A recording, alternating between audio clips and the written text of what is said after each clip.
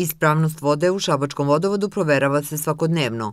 Uzorci se uzimaju sa više, uvek različitih lokacija, dobijeni rezultati idu u prilog činjenici da je kvalitet na zavidnom nivou. Šabačka voda što se tiče higijenske ispravnosti, znači upotrebivosti za piće sa zdravstvenog aspekta je potpuno bezbedna. Ono što mi ovde radimo u okviru hemijske, hemijske analize je takozvana osnovna hemijska analiza koja obuhvata desetak parametara koji pre svega ukazuju na nekakav ukupni kvalitet vode.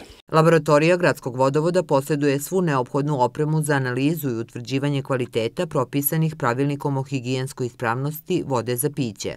Osim hemijskih analiza u laboratoriju koje smo trenutno, radi se i mikrobiološke analize vode od izvorišta, znači od sirove vode preko klorisane do E, vode u gradu koja se koristi. Znači, uzor koji se vrši svakodnevno na različitim mestima u gradu gde se postoji određena dinamika i trudimo se da tokom meseca pokrijemo što više tačaka. Proizvodi koji se nude na tržištu za filtriranje i prečišćavanje vode u domaćinstvu korisnicima gradskog vodovoda u Šapcu nisu potrebni, izričiti su stručnjaci.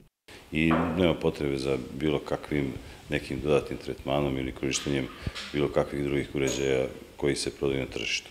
To što ima na tržištu je i različita kvaliteta, različitih mogućnosti, ima jako kvalitetnih uređaja, ali šapšanima ta vrsta uređaja treba tamo koliko je s kim ima frižider.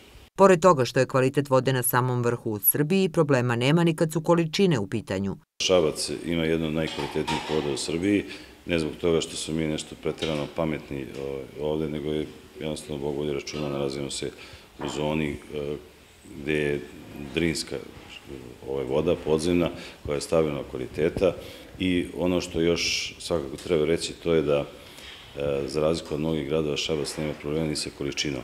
Kontrola kvaliteta ima tri nivoa, oko 3000 uzoraka godišnje u Šabačkom vodovodu, analize na mesečnom nivou u Zavodu za javno zdravlje i četiri puta godišnje u Institutu Milan Jovanović Batut.